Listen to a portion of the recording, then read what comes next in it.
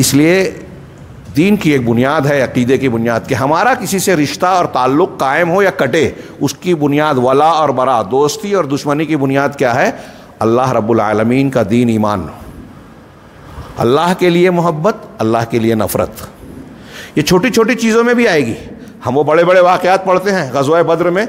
हत अबू उबैदा बिन जर्राह रदी अल्लाह तु अमीनुलम्मा अशरा मुबशरा में से अपने बाप को, सगे बाप को अपने बाप को कत्ल कर दिया, काफिरों की तरफ़ से आए थे, मार दिया बाप को हम्म?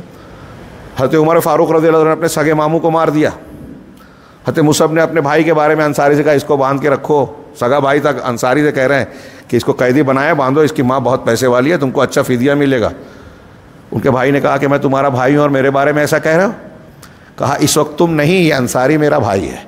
रिश्ता ईमान का मज़बूत है। किस लिए? अल्लाह से मोहब्बत। अल्लाह से मोहब्बत का मतलब अब अल्लाह से जिन चीज़ों, अल्लाह ताला जिन चीज़ों को महबूब रखता है, उनसे भी मोहब्बत हो।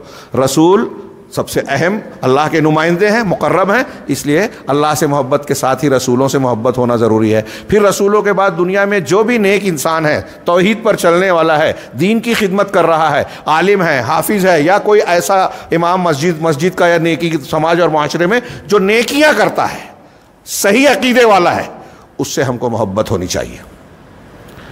आज हमारे यहाँ आलम इस्लाम में बहुत से लोग ये जानते नहीं हैं, दीन